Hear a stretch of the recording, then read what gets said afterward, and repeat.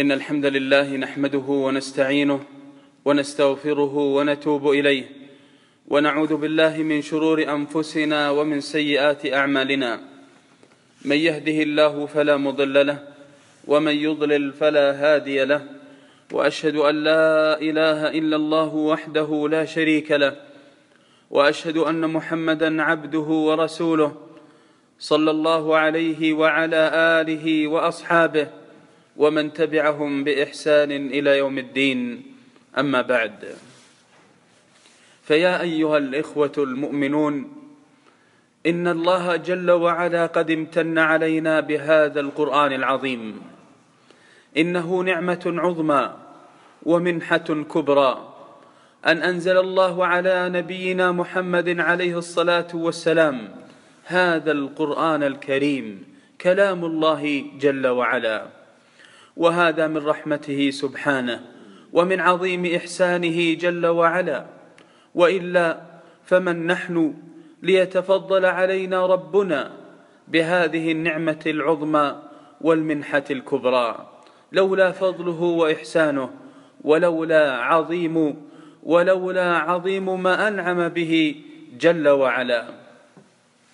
أيها الإخوة المؤمنون إن هذا القرآن الكريم هذا الكتاب المعجز الذي فضل الله به نبينا محمدا عليه الصلاة والسلام وفضل به أمته فجعله آخر, الكتاب آخر الكتب نزولا وأشرفها وأعظمها ومهيمنا على ما تقدم من الكتب وناسخا لها.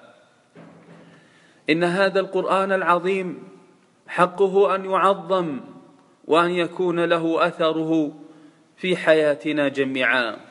فإن الله جل وعلا قد جعل فيه من الخيرات والبركات والسعادة ومن الهدى والنور ما يغترف منه المغترفون وينهج على طريقه السالكون كل بما فتح الله عليه.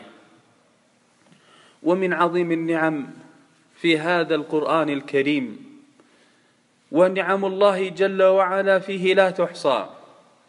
ما جعل الله فيه من البركة. وقد وصفه الله جل وعلا بهذا الوصف في أكثر من موضع. كما قال سبحانه وهذا كتاب مبارك أنزلناه مصدق الذي بين يديه. وقال جل وعلا وهذا كتاب مبارك أنزلناه فاتبعوه. وقال جل وعلا كتاب أنزلناه إليك مبارك. فتأملوا رحمكم الله أن الله جل وعلا وصف هذا القرآن الكريم بأنه مبارك. وهذه البركة ومن معانيها ودلالاتها كثرة الخير وتنوعه وتعدد أسبابه ومسالكه. هذه البركة التي يجعلها الله التي جعلها الله سبحانه في القرآن الكريم لا بد وأن تنعكس على كل من كان له صلة به. لا بد أن تنعكس هذه البركة على كل من له صلة بالقرآن الكريم كل بحسب قربه منه بحفظه وتلاوته وتدبره والعمل به والتحاكم إليه والاستشفاء به وغير ذلك من أنواع البركات التي لا يحصيها إلا الله جل وعلا. والمتأمل في أحوالنا أيها الإخوة المؤمنون يجد أننا كثيرا ما نغفل القرآن الكريم ونصد عنه مع أن فيه الخير والسعادة وفيه البركة والخير والبر والخير العظيم لكن كثيرا من الناس لكن كثيرا من الناس انصرفوا عنه ولذلك أخبر الله جل وعلا في كتابه الكريم عن هذه الحال التي حصلت من كثير من الناس. كما قال جل وعلا وقال الرسول يا رب إن قوم اتخذوا هذا القرآن مهجورا. وقد تكلم العلماء رحمهم الله عن أنواع هجر القرآن. فهجر القرآن والانصراف عنه يحصل بعدد من الأمور. هجر تلاوته وهجر حفظه وهجر العمل به وهجر تدبره وهجر التحاكم إليه وهجر الاستشفاء به وغير ذلك من أنواع الهجر. كما أن القرب منه يكون بعكس هذه الأمور التي حصل فيها الهجر. ولا ريب أن القرب من القرآن الكريم فيه الخير الكثير. والبركات الحاصلة للإنسان بهذا القرآن الكريم مجالاتها شتى ولكن أعرض شيئا من ذلك على سبيل الإجمال. فمن بركات القرآن الكريم الحاصلة لمن قرب منه بتلاوته وحفظه وتدبره وبالعمل به أن الله جل وعلا يرزق هذا المكت... هذا المتقرب من القرآن يرزقه طمأنينة في حياته وأمانا من مشوشات فكره وما ينزل وما قد ينزل به من توتر وقلق واضطراب. فكلما قرب الإنسان من القرآن الكريم ولاذ بجنابه الشريف حصلت له هذه الطمأنينة والحياة الطيبة. يقول رب العزة سبحانه في وصف عباده الأخيار الذين آمنوا وتطمئن قلوبهم بذكر الله. ألا بذكر الله تطمئن القلوب؟ وذكر الله أعظمه وأجله وأشرفه القرآن الكريم. فما تقرب أحد لربه بمثل كلامه جل وعلا. ولذلك يصاب كثير من الناس بأنواع من القلق في حياتهم. وهذا من أمراض العصر. مع تعدد مسبباته في زماننا هذا على وجه الخصوص. فتجد كثيرا من الناس يلتفت يمنة ويسرة في تطلب ما يوجد عنده الاستقرار ويبعد عنه القلق. قد يتطلب هذا بأن يذهب إلى أماكن مريحة. وأن يتطلب الاستجمام في أزمنته وأوقاته وأماكنه أو من خلال من يصاحبهم ويجالسهم. وربما أعياه أعيته هذه الأمور إلى أن يتطلب هذه الطمأنينة وإبعاد القلق بتطلبها من خلال العقاقير وزيارات وزيارة العيادات النفسية. والحق كل الحق أن القرآن الكريم أساس الطمأنينة بحسب قرب الإنسان منه. ومن بركات القرآن كتاب أنزلناه إليك مبارك من بركاته ما يجعله لدى الإنسان من منهجية موضوعية عاقلة حيث يبني لدى الإنسان منهجا قائما على العدل قائما على التدبر والتفكر قائما على الموضوعية والعقلانية. فالقرآن الكريم كثيرا ما يلفت الأنظار إلى وجوب استعمال العقول وأن تكون على منهج صحيح. فإن الله جل وعلا خلق الناس كافة إلا من استثني منهم خلقهم على عقل سليم وفطرة قويمة. ولذلك يحاج القرآن الكريم المعرضين عنه يحاجهم بأن يلجأوا إلى العقل والتدبر والتفكر. ولذلك كثيرا ما يكون لفت الأنظار إلى هذا الجانب. أفمن يخلق كمن لا يخلق؟ أفلا تعقلون؟ أفلا تتدبرون؟ وغير ذلك من المواضع في كتاب الله جل وعلا. فيوجد لدى الإنسان ملكة علمية قائمة على منهج موضوعي وتجعله صاحب رأي سديد ورؤية شجاعة تجعله متجردا من الالتفات إلى إلى من الالتفات إلى ما يح إلى ما يحيد به عن العدل والحق. ومن بركات القرآن ما يجعله من خلال تدبره وقراءته ما يجعله له ويهيئه من ذاكرة قوية. تجعله صاحب فهم سليم فلا يشيخ مع مع تقدم العمر به. وهذا وجد بالتتبع. ولذلك أثر عن السلف كما حكى القرطبي وغيره رحمه الله أن الذين يقربون من القرآن الكريم حفظا على وجه الخصوص وكثرة, وكثرة تلاوة أن الله ينعم عليهم بسلامة حواسهم وبخاصة سلامة العقل. ومن بركة القرآن الكريم ما يهيئه الله لأهله من الغنى الذي أعظمه غنى النفس فتجد عندهم من الثقة بالله جل وعلا وتطلب ما عنده ما يصرفهم عن التعلق بالدنيا. أو التعلق بالأشخاص أو حمل هم معاش الدنيا لأنهم ارتبطوا بمن بيده الأمر كله.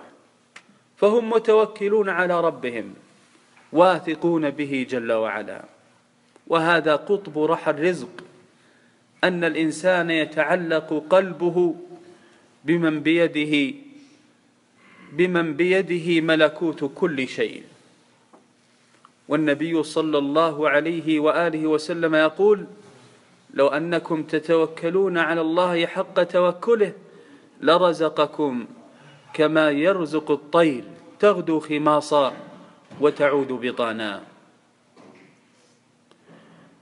فالقرآن الكريم خير كله وبركة كله ولذلك كان من المتعين على المؤمن أن يحافظ على صلته بهذا القرآن الكريم.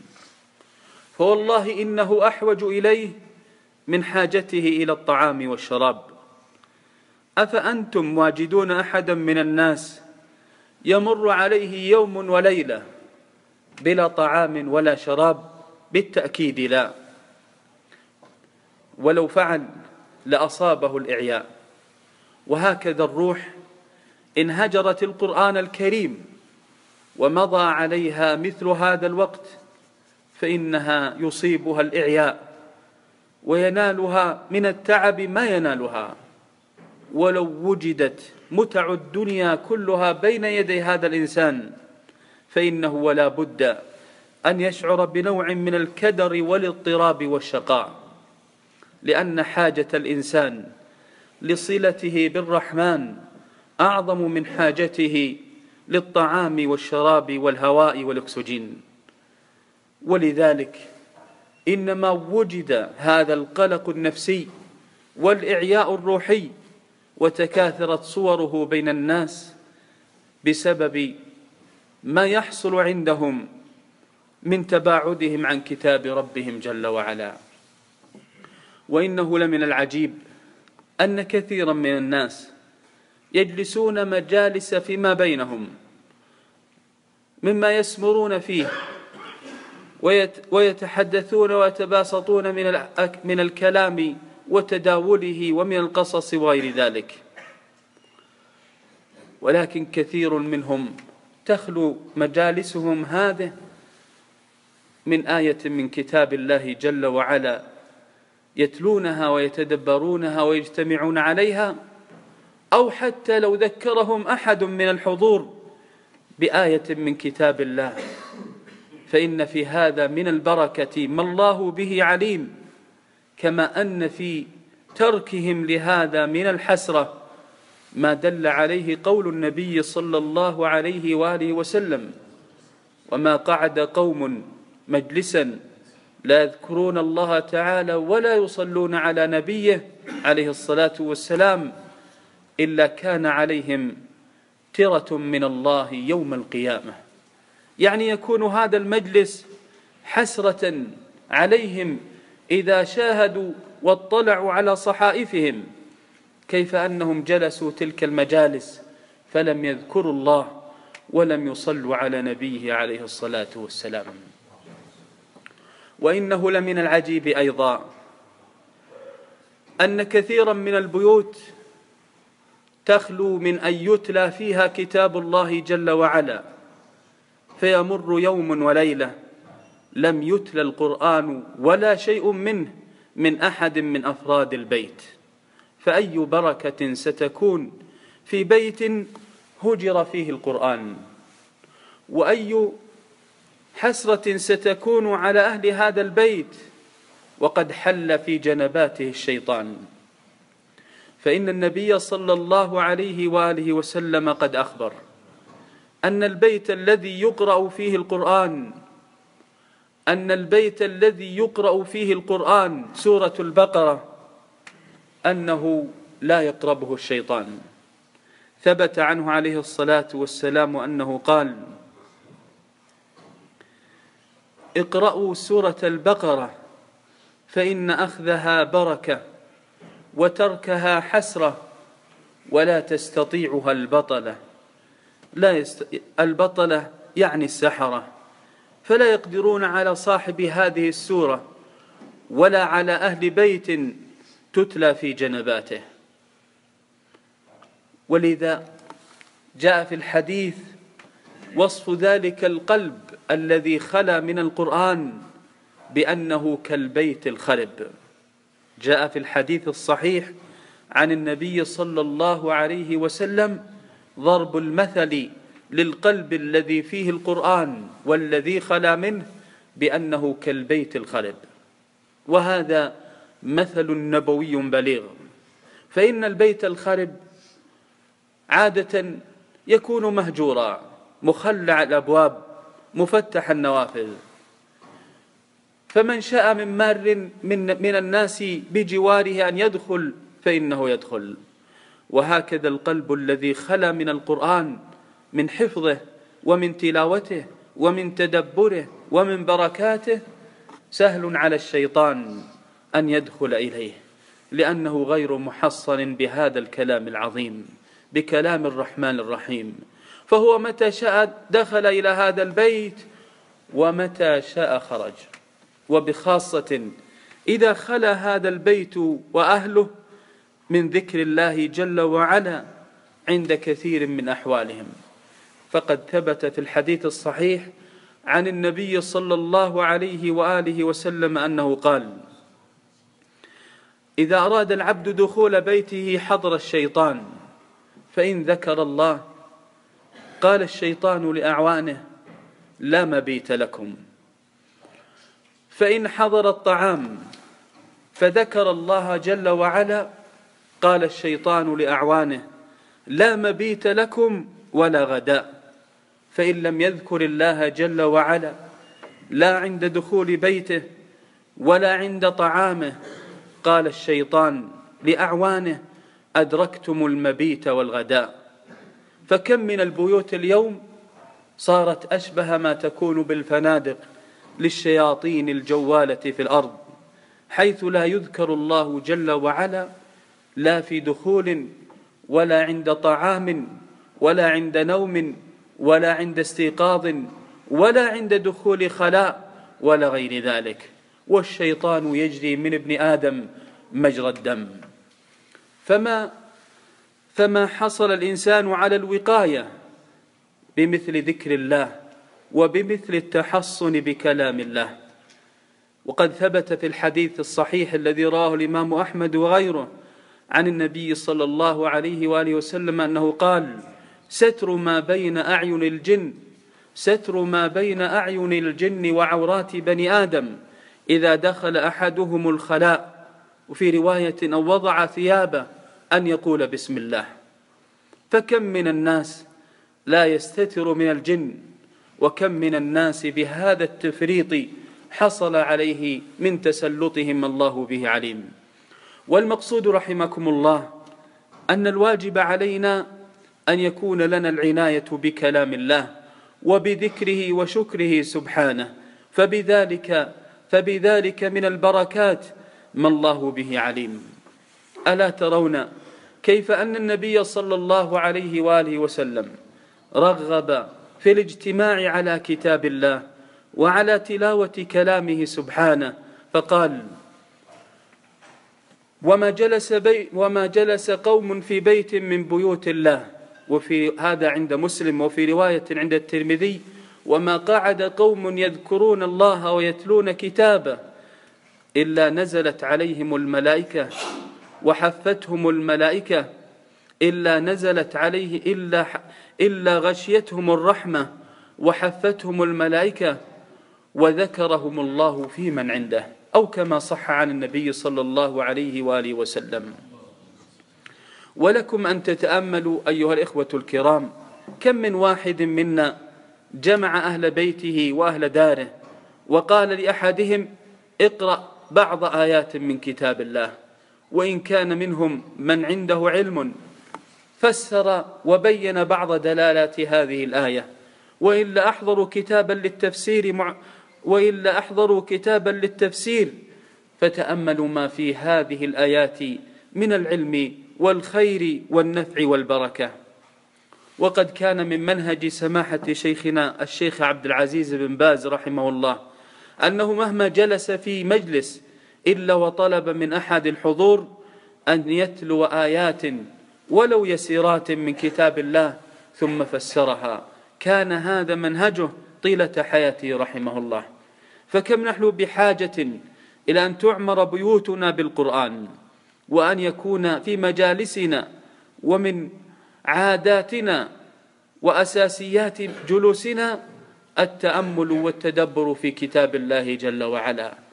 فمن, فمن فعل ذلك أدرك من الخيرات والبركات ما الله به عليم.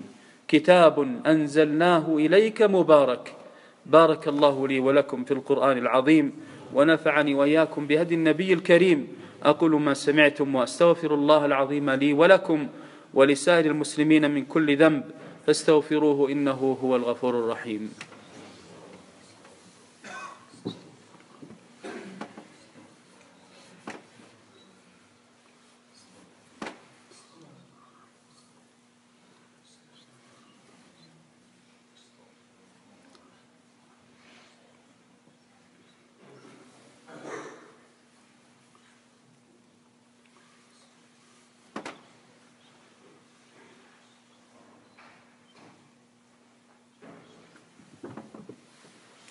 الحمد لله رب العالمين الرحمن الرحيم مالك يوم الدين وصلى الله وسلم على عبد الله ورسوله نبينا محمد وعلى آله وأصحابه ومن تبعهم بإحسان إلى يوم الدين أما بعد.